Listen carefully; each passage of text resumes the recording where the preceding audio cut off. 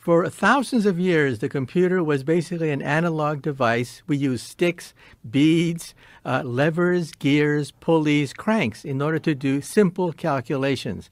That was the first era of computation. And that meant that we could keep track of things, which we couldn't do before. Then World War II hit, and all of a sudden we had to break the German code, and that required using electricity and using all sorts of vacuum tubes to crack the German code. And then we went into the second era where we compute on digital and binary, so zeros and ones, zeros and ones.